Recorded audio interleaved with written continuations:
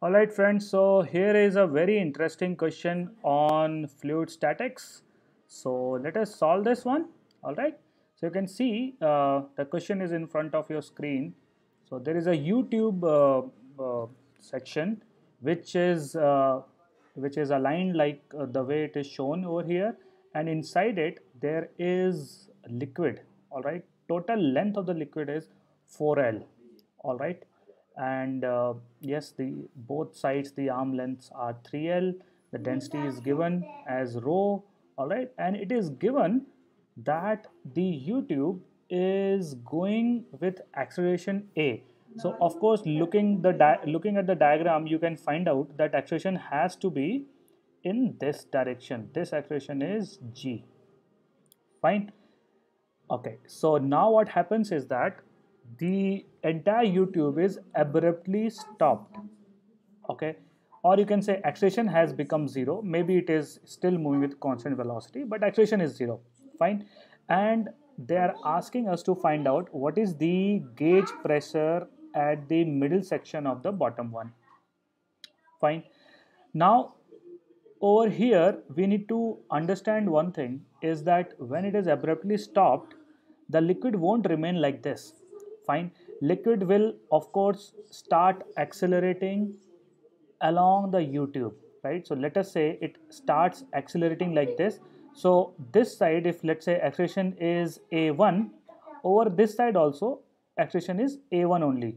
Because liquid is incompressible. It can't be compressed. That is what uh, we are assuming here. Fine. So immediately after the acceleration it uh, stops u-tube the liquid inside will accelerate fine. So there are two cases right? The case number one is when it is accelerating. Case number two is suddenly when it stops.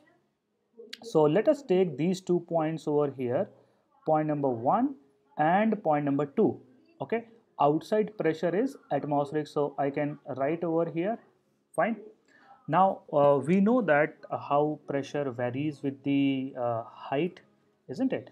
So let us assume that this height is h1 this height is h2 so we can write down over here that p1 is equal to atmospheric pressure plus rho g h1 right? And p2 will be equal to the atmospheric pressure plus rho g h2 this is for case when it is horizontally accelerating and the liquid is not moving inside the u-tube liquid is maintaining this shape. Fine. So we can say that p2 minus p1 if we subtract we will get rho g h2 minus h1 fine. This is the one equation we can have. And the second equation we know that if it is horizontally accelerating then pressure will vary horizontally as well. Fine. And we also know according to pascal's law that pressure in all directions are equal right? So whether i talk about point number 1 and 2 vertically or horizontally i will be getting the same value right? So let's take a cross section of uh, this horizontal length like this okay? So from here this part will experience a force of let's say p1 into area of cross section a okay from here it will experience p2 into a right?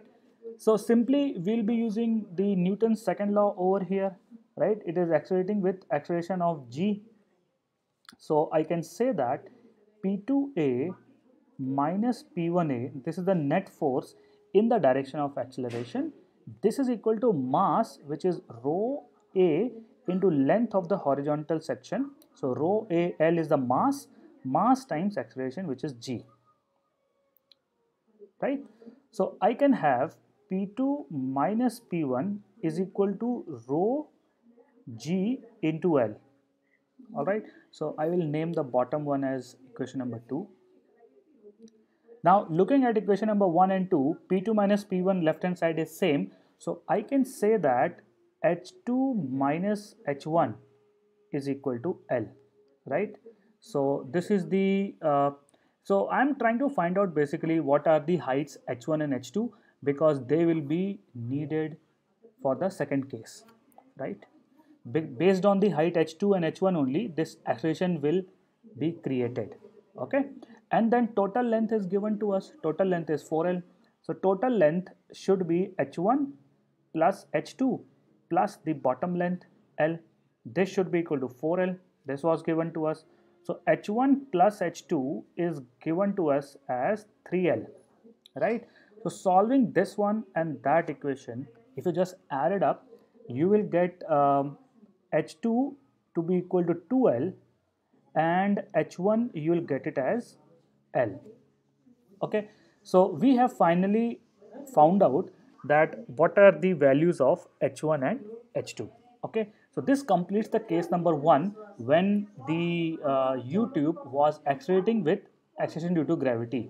All right, now the acceleration has been beca has become zero. Right now, what will happen? Now, if acceleration of the U-tube has become zero, the liquid will start moving like that. Fine. Now you have to draw the free body diagram of three sections, two vertical sections and one horizontal section. Fine. So let us do that quickly. So this is the uh, uh, left hand side vertical section. This is the right hand side vertical section. Okay. So over here the pressure is atmospheric pressure. This is the atmospheric pressure. From here again pressure in all directions are equal. So whether we talk about horizontal or vertical the pressure remains same so p1a this will be p2a fine. This is p1 pa force. Due to the atmospheric pressure the force will be down like this. Okay. Now acceleration is like that. So this is let's say a1 and over here acceleration is like this a2 fine. So let's write down the equation of the vertical sections. So we can uh, so basically you know what, what i'm doing here i'm trying to find out what is the acceleration of the liquid inside right? So that is why i'm doing all of this okay? So for the uh, left hand side uh, we will have p1a minus atmospheric pressure force. This will be equal to the mass which is rho a l times a1 okay? On the right hand side we will have uh, atmospheric pressure. Okay wait uh, sorry about it. So we have to account for the gravitational force also. So yeah it is quite common to miss some details. So over here there will be an mg force. M is what? Rho a l into G, right? Over here, there will be an atmospheric, uh, sorry, the gravitational force as rho A. Now length is 2L, so 2L into G, fine. So now let us write down the equations. So we have we have atmospheric uh, sorry the p1a minus p a into A minus rho A L G this is equal to mass times acceleration rho A L into A right. So I will just uh, simplify it further capital A will get cancelled away. So we will get P1 minus P naught which is PA actually P1 minus PA is equal to rho L G plus A okay this is our first equation or first and second are taken. So let's say this is our third equation. Now for the right hand side vertical section you will have what? You will have atmospheric pressure force plus gravitational force which is rho a into 2l into g okay minus p2 into a. This is equal to the mass times acceleration. Now mass is rho a into 2L into A, right? So again, you can cancel out uh, area of cross section over here. So that is gone now. So we have atmospheric pressure minus P2.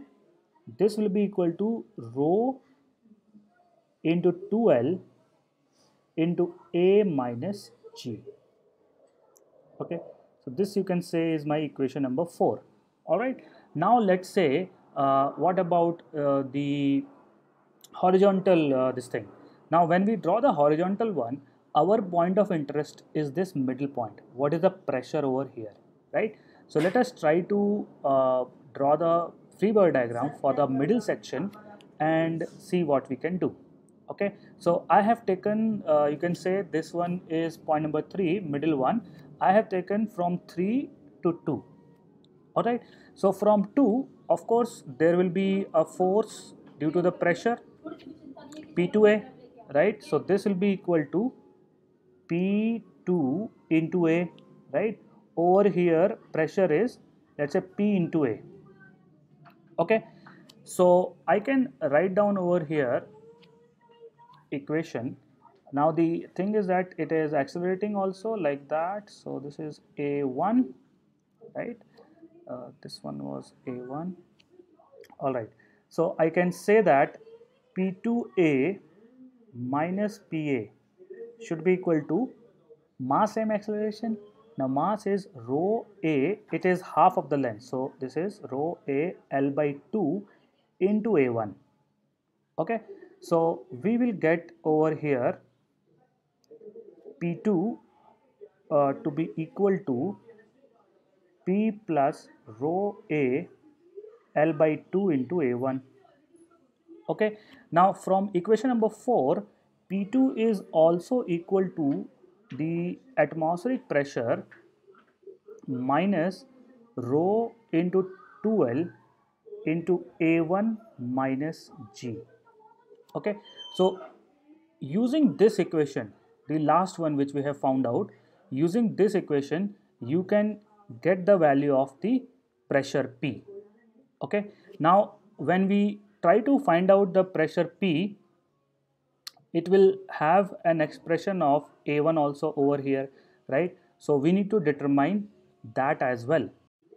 All right so in order to find out uh, the value of A1 what we can do is that uh, we can draw the entire uh, free body diagram from 1 to 2 okay? So let us do that. I'll just create some space over here. Fine.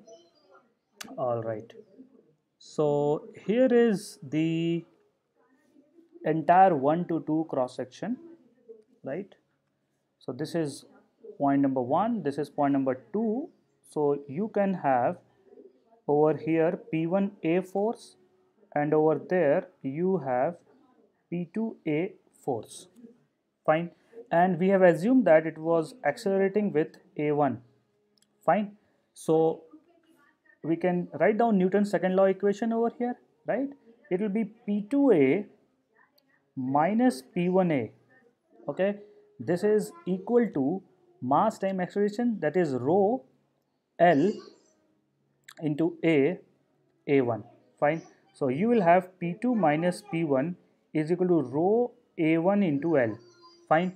This you can say is equation number 5 and from equation number 3 and 4 if you just add them up you will get P1 minus P2 to be equal to rho L G plus A1 plus rho into 2L A1 minus G. Okay? So now you have to solve equation number 5 and 6 you'll get the value of a1 and if you solve it uh, properly you will get expression a1 to be equal to g by 4 all right? And once you know uh, the expression of the fluid inside the manometer is g by 4 you have to plug it over here. All right? If you plug it over there you will get the uh, pressure p to be equal to the atmospheric pressure plus 1.375 rho GL fine? And since in the question the gauge pressure is asked so the answer is whatever total pressure you get you have to subtract PA from it so answer is option number D alright so uh, this is the way you have to solve this question now when you look back, you feel that the question is uh, very twisted and uh, very lengthy as such. The uh, you know it is perfectly fine. The, yes, the question is little lengthy, but if you uh, carefully analyze the way we have solved it, we have used nothing other than Newton's second law only to solve the entire question. So you need to uh, understand that knowing uh, basics and applying it is enough to solve the most complicated types of questions also. So always focus on the basics. Try to solve the question from the uh, uh, you know basics or the first principle. Okay, and uh, yes, uh, make sure you practice well. Okay, bye for now.